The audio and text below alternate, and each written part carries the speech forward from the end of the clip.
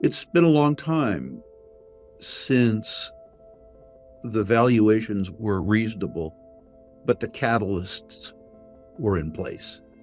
Yes. Uh, I think the fact that you look at this circumstance and you're still cautious means you're likely to make money.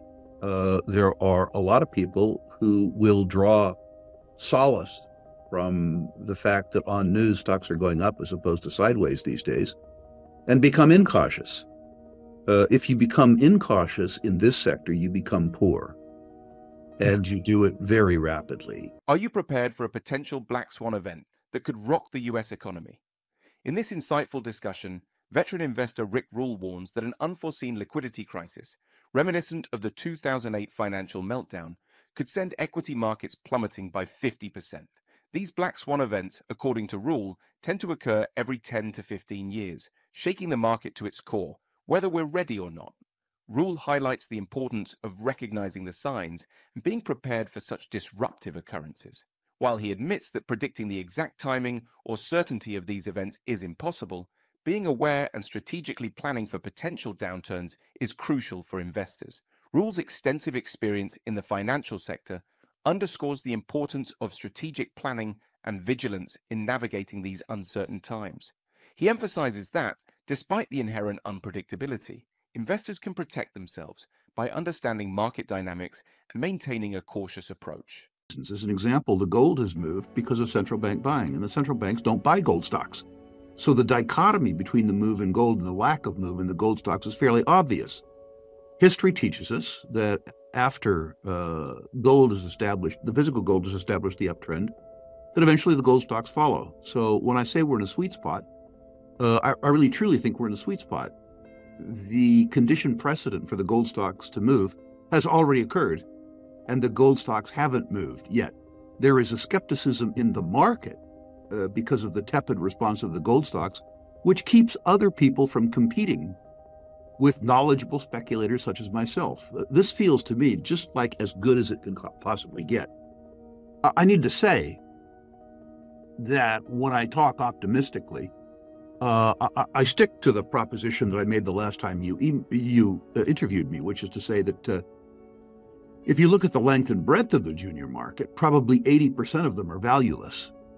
So you can't invest in the sector, but probably 5% of the companies generate so much performance that they add legitimacy and luster to uh, a sector where 80% of the participants are valueless. And it is that 5 to 20% that I'm talking about. Uh, when they say that there's no financing available for juniors, that's hokum. Uh, most of the juniors aren't financeable. Uh, I have participated, I think, in about 20 financings in the last 24 months. Uh, and uh, at least 15 of them were oversubscribed, meaning, despite the fact that I'm a, high, a fairly high profile investor, somebody who companies like to have on their roster, I got cut back uh, on my subscription. That doesn't seem to me to be a capital short market. But that, that notwithstanding, uh, I think there are very, very good companies available for very fair prices, uh, and that's a wonderful circumstance. Uh, and I use gold as an illustration, but clearly, as an example, the copper thesis that we would have talked about on your show in 2022, had we talked, has played out. um, you know, we talked about the fact that at $20 a pound, it had to go up to a market clearing price. It had to go up to the price where producers earned their cost of capital. And guess what? It did. We talked about the fact that uh, the COVID depressed levels of oil and gas pricing had to increase when people began to travel again because the oil industry didn't earn its cost of capital and frankly couldn't pay their taxes at prior at prior prices. Well, it did uh, and the markets uh, have responded. So, I mean, I, I would say that we're, with regards to uh, mining equities uh, and mining private placement debt, that we're in one of those truly, truly, truly lovely circumstances. Uh, I'm not going to say that we won't have a recession. Uh, and if we have a recession, that bull market's going to be derailed for two or three years. I'm not smart enough to tell you that we are or we aren't. Uh, I am smart enough, or rather old enough, to tell you that we will come out the backside of a recession. Uh, it's odd that at 71 years of age, I have more patience than most of your younger listeners, but experience has given me that.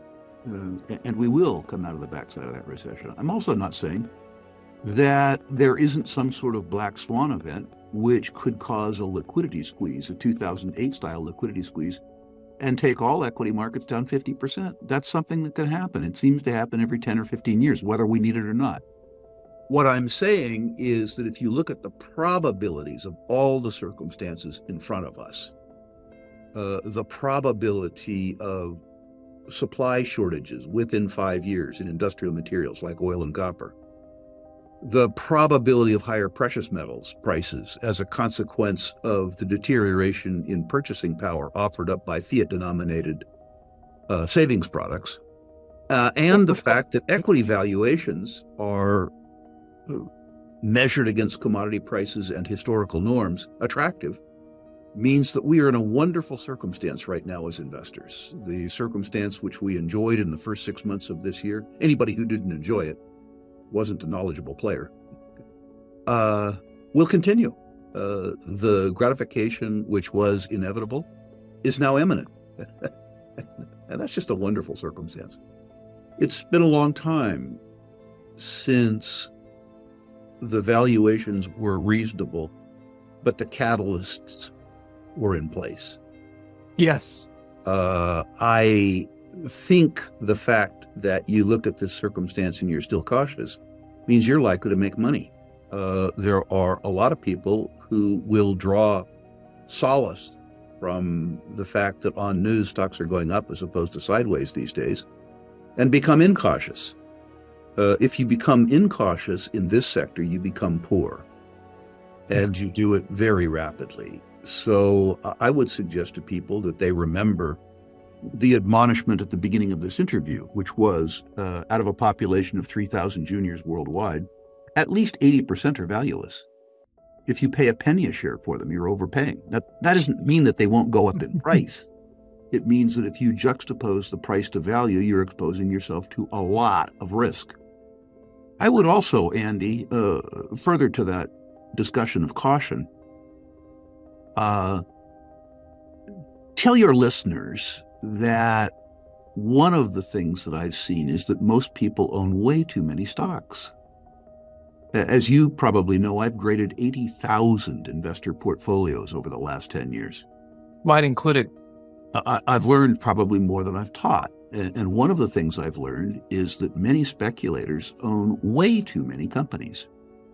I have told people in the Rule classroom that I believe that the number of companies that they should own in their portfolio corresponds exactly to the number of hours per month they they plan to work. Uh, I think you need to allocate a minimum of one hour per company per month. Reading the filing statements, reading the annual report, reading the proxy, not listening to podcasts. That comes under the heading general education, not specific education. So if you can afford or stand or like to spend 10 hours a month, then you can own 10 juniors. If you can afford 20 hours per month, then you can afford 20 juniors.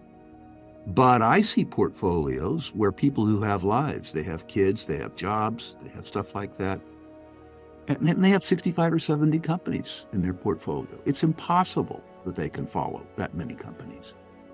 Tier one projects that are juniors, uh, which is to say, projects that have the hallmarks of having a minimum of $10 billion in in situ recoverable reserves that would be in the bottom cost quartile worldwide and the top quartile in terms of return on capital employed, but at least 25%.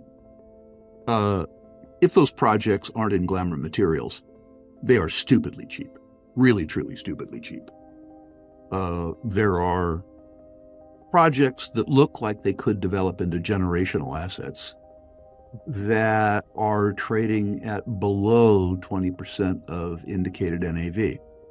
These are projects that, if the drilling continues as it has happened so far, will be sold to major mining companies.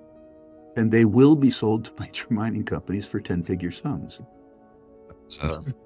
the fact that the exploration project process, the delineation process, the PFS process is boring, uh, means that people have sold off these high quality assets uh, in favor of frankly shitty assets that have more near term momentum. There's nothing in the world that makes me happier than this, by the way. The fact that I can fill my boots for long periods of time with very little competition uh, around assets that seemingly to me have absolutely no downside except perhaps political risk and tenfold upside. So I, I really like that theme. The other thing I like is grassroots exploration with high quality teams, really high quality teams. Intellectual capital uh, is on sale here. I just interviewed somebody who will remain nameless because I haven't bought my stock yet.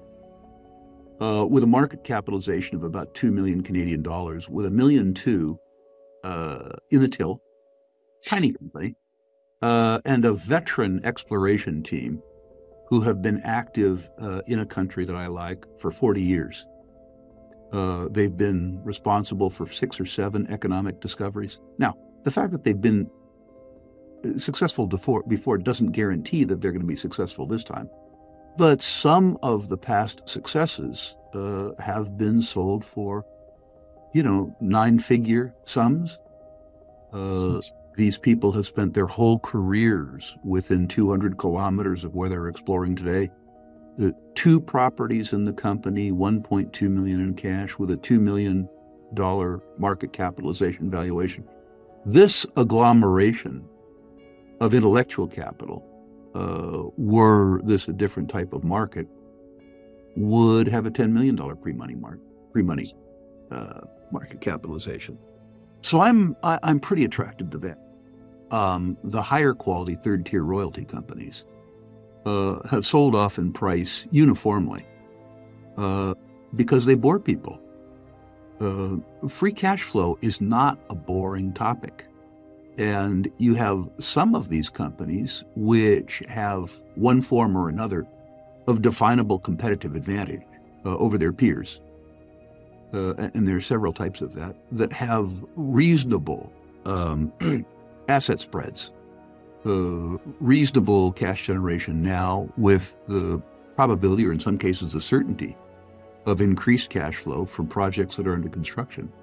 There's two things that happen here. Uh, either the share prices go up, or the larger royalty companies with higher share prices and lower cost of capital acquire them. Thanks for tuning in to today's discussion with Rick Rule. Let's recap some key takeaways. Despite central banks buying more gold, gold stocks haven't moved yet creating a sweet spot for knowledgeable investors.